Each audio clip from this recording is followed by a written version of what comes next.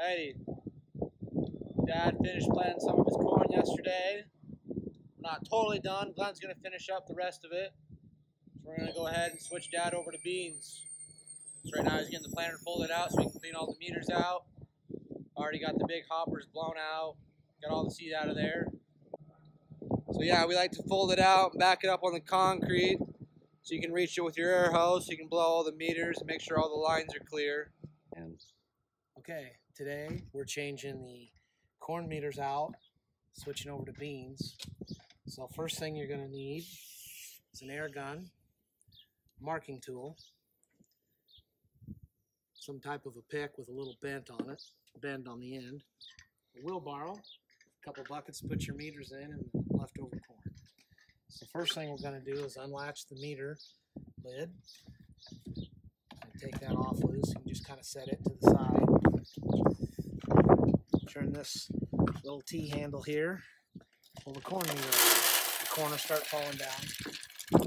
Now this isn't overly necessary, but I like to mark the row this come out of. So if we ever have any trouble or something, we can go, hey, I had trouble with row eight. Put this in this bucket over here. So that's just one little thing I like to do. And the other thing, then we grab our air gun blow out that loose corn debris. Get any dust out of there. Then open the little hopper box. There's always one little seed that'll stick down and there's a little hole. So put that out of there. Blow it all off, blow the lid off good.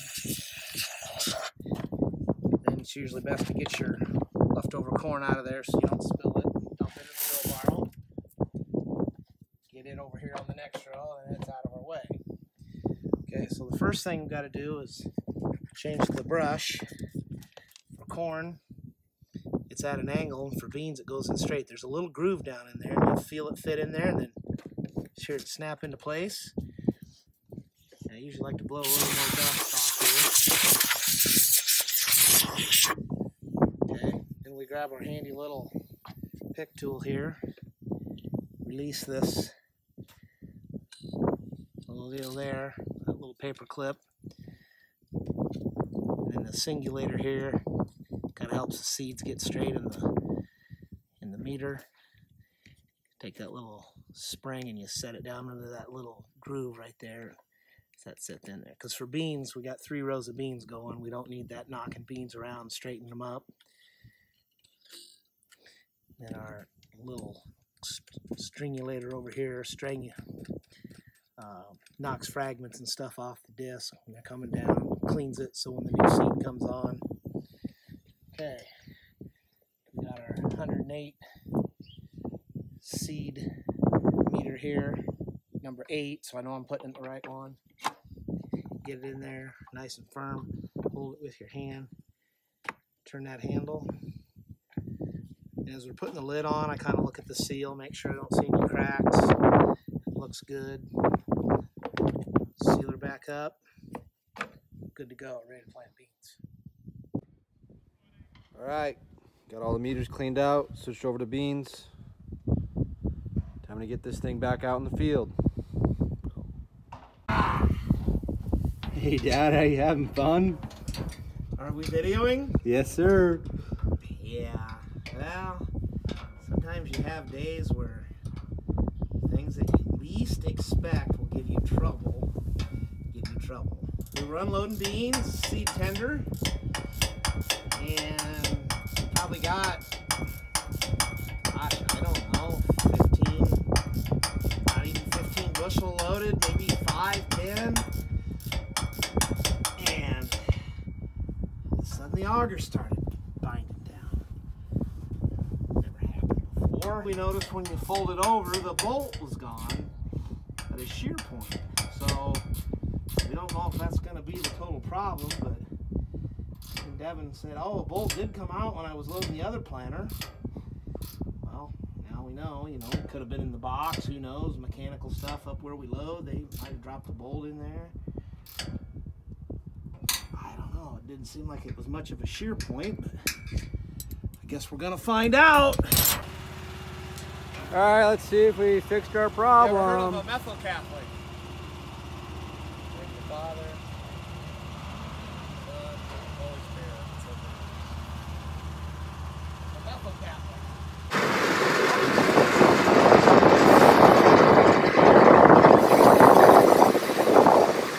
Open it up a little bit. Don't get carried away. I did.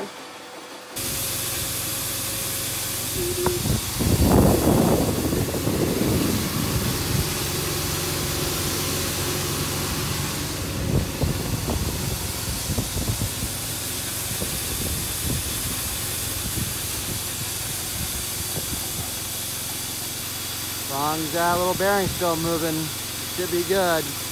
That's what happened. It got full of beans because it was flipping. It got plugged and that stopped turning. That let us knew that something was going on.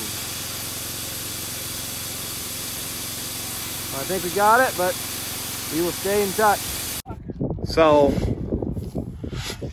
what do you do when you spill beans out of your tender, not on purpose, but because of a mechanical issue, and you have to, you can't put them back in the planter because they got grass in them and little dirt fibers and all kinds of little stock stuff. So, Devin's going to give a demonstration here of what you do because you know we don't want to leave this pile of beans here. They'll get all wet and look crappy.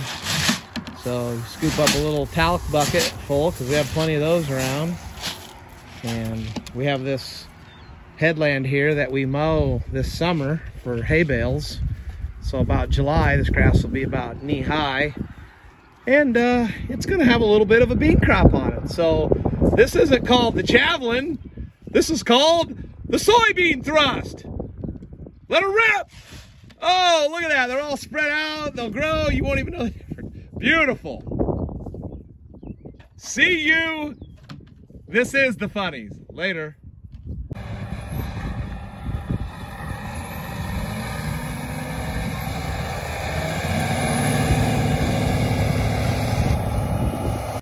Everyone, you're watching Disney Channel. Wait, no, that's not right. You're watching Mann Family Farms. Welcome back. What's going on, Dixie? You miss me? Just hopped out of the Quadtrac, let Devin take over. I was just getting a start on working some ground. Mainly, I just wanted to work around a waterway so I could go reseed it gonna take the old 4020 and the 10 foot John Deere Model A drill and go touch up the waterway. So this past week, while I've been at school, we've got a tremendous amount done. We're making really good progress. We are 100% done with commercial corn. My uncle's working on the first field of seed corn today. That's about 90 acres. And my brother is out working our next seed field, which is here at the home farm, and that's about 240 acres. So that's all that's left for corn, but that's seed corn. Now, one might ask, what's seed corn? Isn't all corn seed corn? Not necessarily. So when you're driving around, most of the corn that you see is what we call commercial corn. And commercial corn is grown for fuel, food, feed, and fiber. Uh, it's not typically used for human consumption. It is in the sense that it's a goes into a lot of ingredients for other types of food. The corn that you eat on the cob is called sweet corn, and it's a lot different than commercial corn. Now, what I'm talking about when I say seed corn is this is corn that basically is made in a lab and they get all these different traits and hybrids and it's essentially we're growing the seed that's going to turn into commercial corn seed next year. It's way more complex than that. I can't really explain it, but that's basically the gist of it. As far as soybeans go, we've got about 400 acres of seed beans left, which is essentially the same as seed corn, same purpose. And we've got maybe 100, 100 or so commercial soybeans left. So we are, we are in the home stretch. All right, that's enough rattling on. Let's go seed some waterways.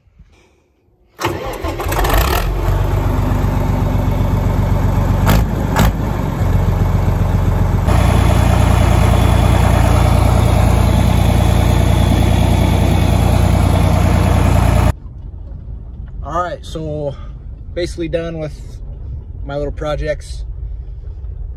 So I'm gonna go drive around, see if anybody needs help. Kind of be seed runner and whatnot. So yeah. As you can see, we got the goods, so I, uh, I'll be good for a little while. And we got the drone. We got the drone.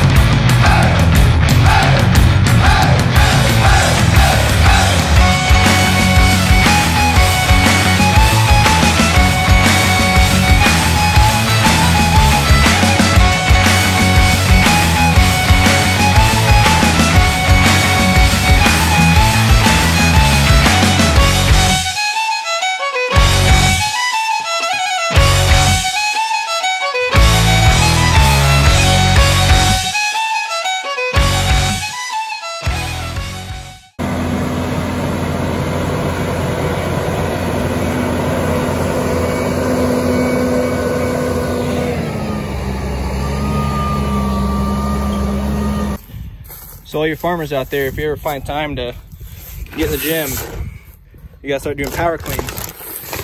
So you take this here, you grab it, clean it one hand over your shoulder. Since I gotta hold the camera with this hand, only needs me one hand. You're 50 pounds, so yeah. Planting beans. Don't mind the hooligan on the planter behind me.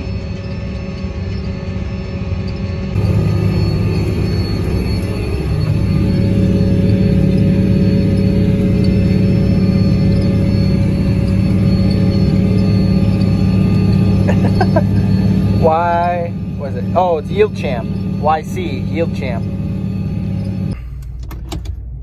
All right. That is a wrap. 212 acres.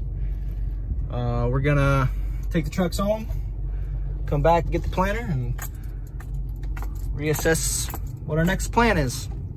It's the honey badger here. We're over here on the McCann farm.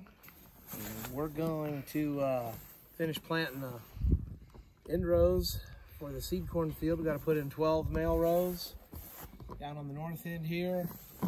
And then we got to put about 12 rows in over down along uh, kind of between a couple waterways. So uh, anyway, get ready for the vintage 1206 to fire up and uh, smoke you out here. So get ready. It's like a sewing machine.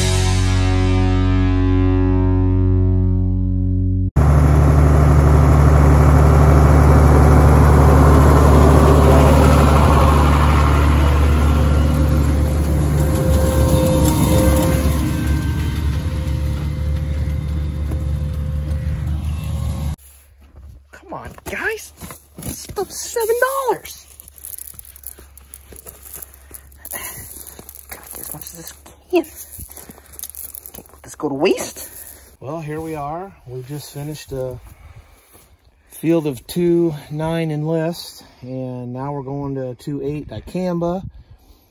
And we didn't have very many beans left in the planter, so we're kind of doing a little food plot down here in a little waterway, as you can see. And uh, so, taking the meter out, letting the beans run on the ground, bird feed.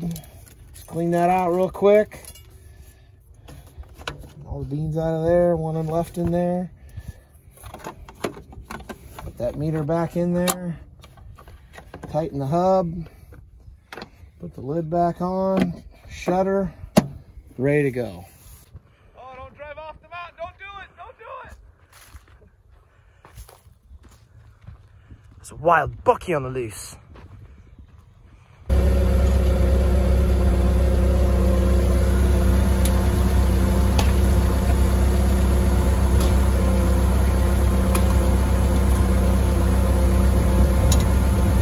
Sunday and Monday, your brain, your brain, your brain.